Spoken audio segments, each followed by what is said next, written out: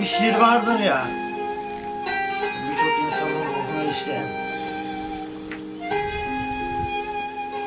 Onu güzel söylemiş şair. Ağlasam sesimi duyar mısınız mısralarımda? Dokunabilir misiniz gözyaşlarıma ellerinizle? Bilmezdim şarkıların bu kadar güzel, kelimelerinse kifayetsiz olduğunu. Bu derde düşmeden önce. Orada bir yer var, biliyorum. Her şeyi söylemek mümkün. Epeyce yaklaşmışım. Duyuyorum, anlatamıyorum. Sahte bakışlarla sevecekseniz sevmeyin birbirinizi. Umut verip de bir sabah elvedalarla çekip gidecekseniz hiçbir zaman bilmeyin birbirinizi. Gerçekten sevenler, sevdasını gözyaşlarıyla besleyenler. Kaçsan nafile, dursan nafile, sevsen o da. Bir erkek ne zaman sever biliyor musunuz? Sevdasını söyleyeceği vakit yutkunup kendini gözyaşlarına boğduğu zaman sessizliği benimsediği zaman artık tüm hayallerim, umutlarım bitti. Tek umudum sensin dediği zaman.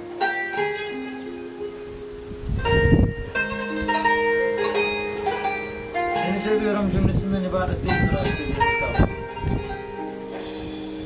İnsan güneşi de sever, ayı da sever, çiçeği de sever. Herhangi dinlediği bir şarkıyı da sever. Seni seviyorum cümlesi aşkı anlatmaktan ibaret değil.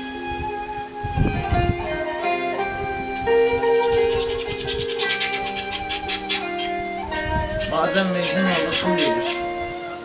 Bilmediğin bir Leyla uğruna çöllere düşesin. Bazen o tarihin tozlu raflarındaki Berhat. Ne kadar gerçek, ne kadar yanlış. Dağları derecek, ucu benimsersin kendinde.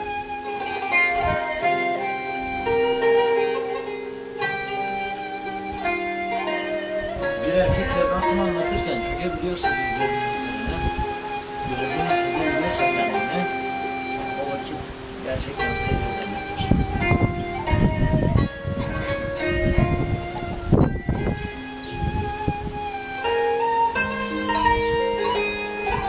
Tek diyebileceğim şey şu olurdu sevda karşısında. Günaydın sevgilim. Hiç olmayan sevgilim. Odamın penceresi açık.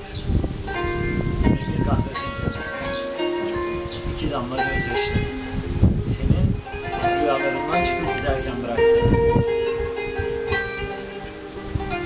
Dönersen bir günaydın çok verme bana. Günaydın. Rüyalarımda beslediğim hiçbir kadına benzetmeden sevdiğim sevgilim. Sessizim, yorgunum. Sevdanın tutsak bir bedenin içerisindeyim.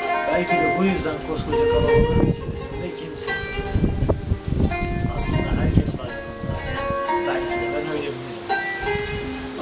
kimsesiz kılan sen başka diyarlarda, başka ufuklarda, başka hayatlarda.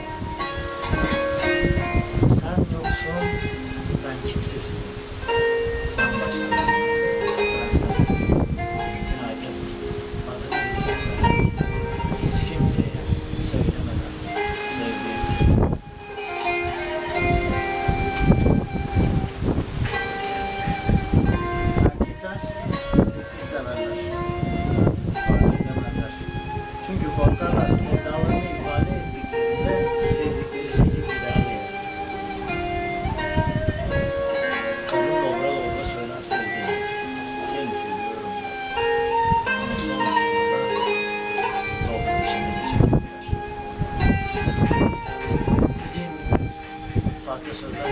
Sevecekseniz sevmeyin birbirinizi.